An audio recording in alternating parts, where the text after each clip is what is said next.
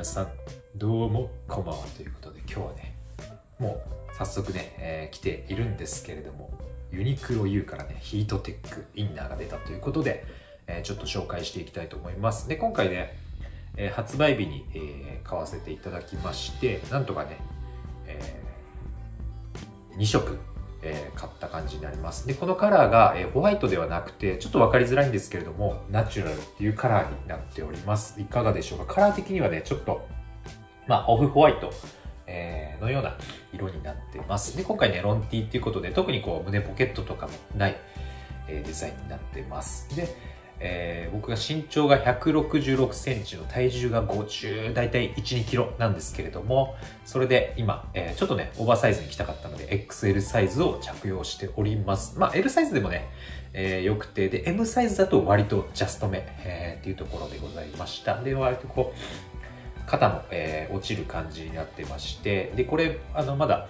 あの、一回も洗濯はしてないんで、ただ、あの、これね、1枚で着ると、あの、透けはしないんですけど、ちょっとわかりますね。ちょっとこれ、あれかな ?YouTube 的にちょっとあれなんかわかんないですけど、ちょっとね、ダメ、ダメですね。これダメです。あの、すいません。あの、カットされるかもしれないんで、えちょっともしかしたらこの動画ね、消されるかもしれないので、皆さん、影響ぞまでございます。ということで、こんな感じですね。で、割と、袖もちょっとね、あの、長めの作りには、やっぱ XL なんでなってます。あとちょっと下分かりづらいかな。まあちょっと一回一周しますね。非常にね、色はいい。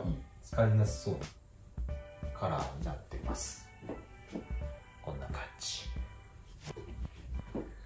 あのーまあオーバーサイズに、割とね、ここのとこオーバーサイズ、僕なんかパーカーのインナーとかで、ちょっとこう、あの、裾の方をね、レイヤードで見せたかったので、あえてね、XL 買ってます。で、普段であれば、M とか、L、えー L でもちょっと大きいのかな？でも大丈夫だと思います。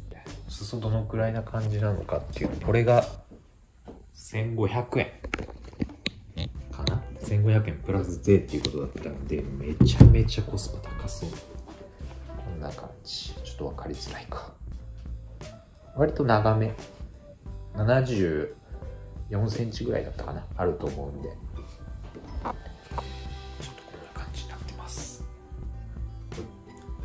割とデニム履いてますけど、ちょっと長いですね。ちょっと隠れる感じ。どうですかね。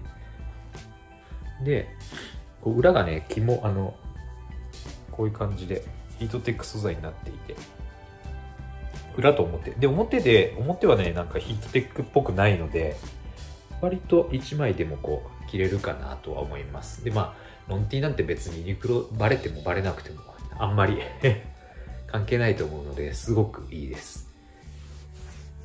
うん。なんか、そんなにこう、ゴワゴワもしてないので、すごくいいのと、あとね、結構ストレッチが効いてて、ビヨンビヨン伸びるかなっていう感じになってます。